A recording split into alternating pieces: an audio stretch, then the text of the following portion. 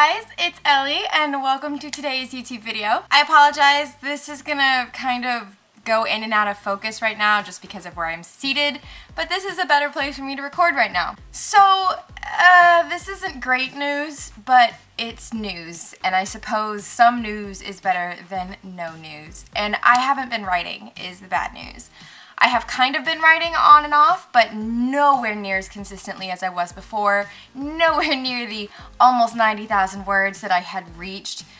I have kind of slacked off, and the reason for that, and when I started to slack off, I noticed and I knew what I was doing, but I allowed myself to do it anyways. I had gotten to a point in Heat, the novel that I'm currently working on, currently working on, uh, there was a point where I realized that what I had done was irredeemable.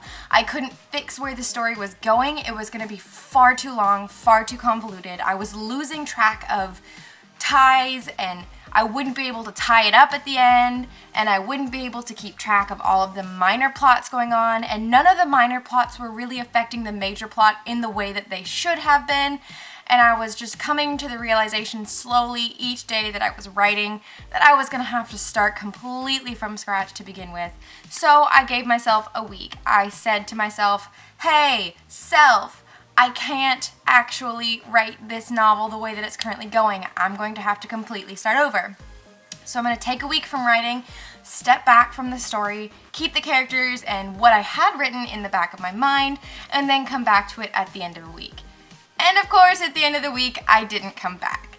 It's kind of been a project now where I have restarted it two or three times already. So I have kind of been writing, but I've been restarting it two or three times and none of it has felt normal or natural because the character that I'm starting over with is the character that has already been developed, has already gone through all of the things that she went through in the first iteration of the novel.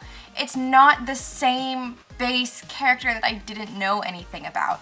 And it's hard for me to go back and write something pretending that none of the stuff has already happened.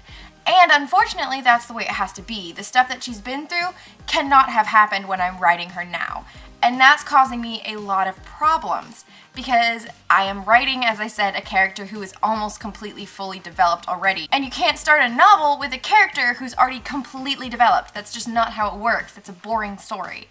So I've been trying really hard to try to find a way to restart the novel that allows me to have a blank slate and go back to Rasha and kind of figure out who she was before everything happened. And I do want to finish this because I always think when I when I consider not writing this novel, the first thing that hits me is how many people I will be letting down if I don't try.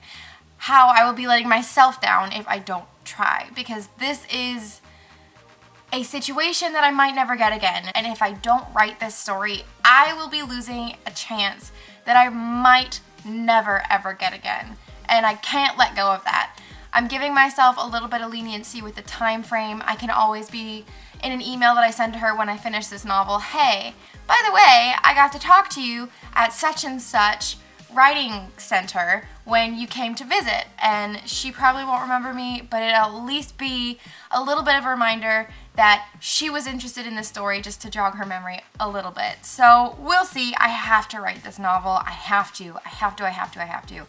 I just don't know when I'm to really get the ball rolling again and how I'm to figure out how to start over. So I will see you guys again next month. And until then, peace out guys and have a wonderful day and happy writing.